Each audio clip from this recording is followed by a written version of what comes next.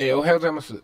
7月22日朝5時の相場解説になります。今日は1時間だけでちょっとお話していきますね。え昨日ね、私ね、このレンジ相場の中でこういう風に感じたことがあったんでお話しました。こう来て、こう来て、こう来て、徐々にね、なんかこう、三角形を描いてるんではないかなというところです。これなんだ？ちょっと待ってくださいね。こうですか？こういうふうにね、だんだん安値が切り上がってるのかなと思ったんですよ。で、上は一緒で。うん。まあ、これかなと思ったら、まさにあらず。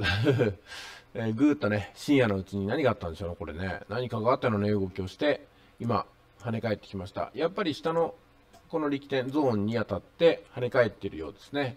うん。えー、ということなんで、まあ、すっぱりと、これはね、え、ダブルボトムからの買い、そして、レンジ相場からの買いということでいいんじゃないかなと思います。まあ、それ以外、ちょっと言うことがないですね。ここまで条件揃ってて、買いに入らないことはないかなと。まあ、もちろん、買いで失敗することもありますけどね、相場には絶対がないですから。ちょっと4時間の方を見てみましょうか。4時間の方、こうなってます。綺麗にトリプルボトムになっております。うん。まあ、レンジの間に入ってますよね。で、デイリーの方を見てみると、うん。まあ、横ばいのように見えます。本当にレンジだなと思うとこですよね。まあ、これで言うことないんじゃないかなと思いますよね。